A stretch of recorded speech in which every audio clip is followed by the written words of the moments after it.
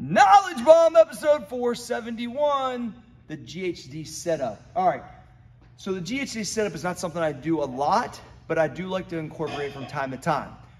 When I learned this actually at my CrossFit Level 1 certification at Reebok years ago, these motherfuckers was in here going crazy, like all the way down, tapping, coming up, and they were going like furious. But they also said it gave them a bunch of motherfuckers rhabdo before because of the stretch in the fucking strength that it takes to do it how you see your favorite big time CrossFitter.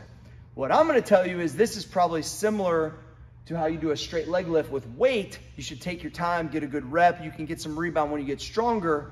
The key is gonna be have a slight bend in your knee, come all the way down, tap the floor, and then all the way back up.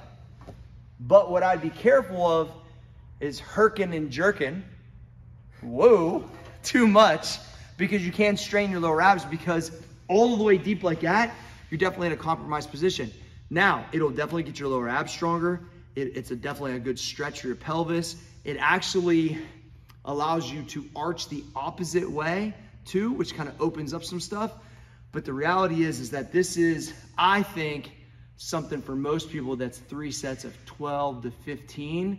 Probably not like a 50 rep violent type of action until you're at a higher advanced level. So I would check the GHD sit-up as an alternative to a knee up or a straight leg with weight or alongside them to build up some crazy strong ab power. Knowledge Bomb 471. Boom.